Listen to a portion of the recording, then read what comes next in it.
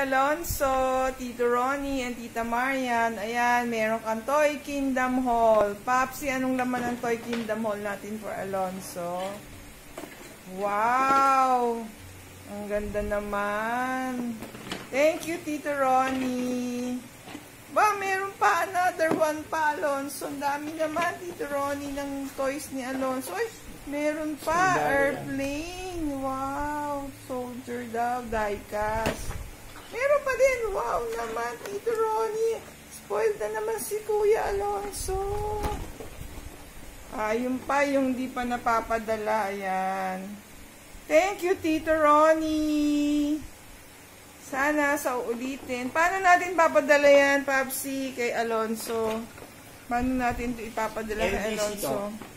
LBC. Hindi, pagdating na lang nung track ng Hallmark, ipapadala ni Papsi yan. Dagdagan ko pa to. Ay, ang dami na niyan. Thank you, Papsi. Thank you, Tito Ronnie. Where is Tito Ronnie? Ayan, o. Kanta naman Alonso for Tito Ronnie. God bless you, Tito Ronnie.